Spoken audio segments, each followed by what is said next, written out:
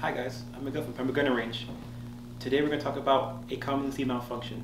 It has no technical name, but I'm you how to identify it, how to fix it, and how to avoid it altogether. The malfunction we're going to cover today occurs when the bullet is put into the barrel backwards. It looks something like this.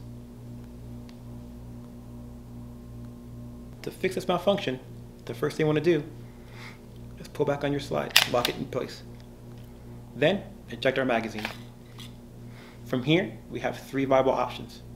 Option one, take a plier and or pry tool and forcefully remove the round from the barrel. Option two, take a cleaning rod or push rod and beat the round out. Option two is the most dangerous of the options as the primer is still active and still live and the bullet can go off.